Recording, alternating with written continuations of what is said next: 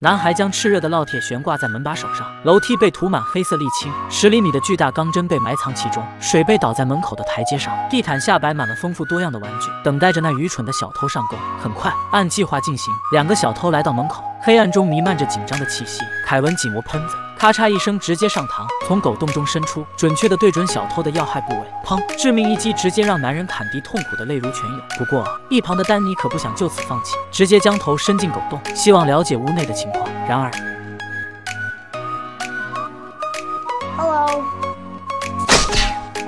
丹尼的运气并不尽如人意，立即与好基友坎迪分头行动，准备闯入这个炙手可热的别墅。这还要从几天前说起，圣诞节马上来临，凯文一家准备趁此机会外出旅行。但意外的是，凯文被遗忘了。直到一家人上了飞机，他们才意识到最小的儿子被落下了。而凯文发现家里只剩下他一个人时，并没有感到气愤，反而开始庆祝起来。他在床上欢快地舞动着。自由自在地享受着无拘无束的时光，仿佛置身于无人的乐园。然而，命运的捉弄是如此巧妙。第二天，他家就被两个小偷盯上了。两人都是惯犯，专门挑选无人的房子下手。提前知道凯文一家外出游玩，正准备撬门行窃。而屋内的凯文听到声响，他将房里的灯全打开，营造出有人的样子。果然成功骗到小偷，两人一脸茫然，最终只能灰溜溜的离开。一夜报复失败的失落感在他们的脸上流露，而凯文也吓得躲到了床底。他想找邻居帮忙，但一想到邻居的传说，他觉得比贼还可怕。毕竟都说隔壁邻居罗伯特是个杀人不眨眼的恶魔，因为找不到证据，这才没有被捕。为了给自己打气，凯文跑到门口，大声说道：“我现在是男子汉，我才不怕了。”没想到却撞见了外出的罗伯特，这可把凯文吓得。连滚带爬的跑了回去，而父母这边刚下飞机就直接报警，希望佛伯乐能去家里照看孩子，但佛伯乐可没这个闲心去照顾一个孩子，无奈只能自己尽早赶回去。男人刚走到前门时，脚下一个踉跄，摔了个四脚朝天，艰难的爬起来，刚握住门把手，就听到一声烤肉的滋啦声，这香味连坎迪自己闻到都差点饿了，而丹尼直接就是一路上从地上滑到地下室，差点就能请村里人吃席了。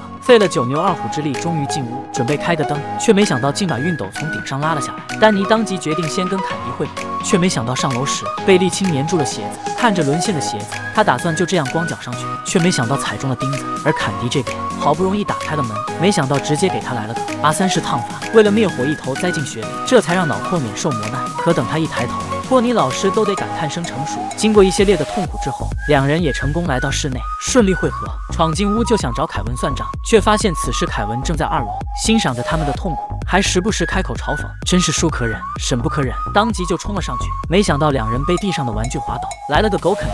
好不容易起身准备上楼，却看到铁通迎面而来，这可把坎迪吓了一跳。一个灵活的弯腰成功躲过，就是苦了身后的丹尼，正中面门，还不待坎迪吐槽住队友，就被另一个飞来的击飞，直接扑在了丹尼身上。趁此机会，凯文连忙拨通了报警电话，不过提供的地址却是隔壁邻居家的。江湖上有名的双磁大道，却在一个小屁孩手上连连受挫。他们想要突破防线，为自己证明，而男孩下定决心保护房子。经过一列的对决，双慈大道终于进入屋内，但两人也被折磨得不成样子。打完电话出来的凯文，刚好被丹尼一个恶虎扑食，抓住了脚腕。不过他看到了哥哥那只外出散步的大花猪，连忙抓起来放在了丹尼脸上，这可把他吓得不轻。凯文趁此机会，连忙通过预先准备的绳索滑倒了对面的仓库。两小偷一看就乐了，作为专业大盗，这可难不倒他们。刚爬到一半，凯文就拿着比他还大的剪刀，笑嘻嘻地看着二人。剪刀的锋利光泽在灯光下闪耀，他毫不犹豫地咔嚓一声，手腕粗的绳子被剪断，免费体验了一把人猿泰山的日常。趁着小偷们还没有站起来，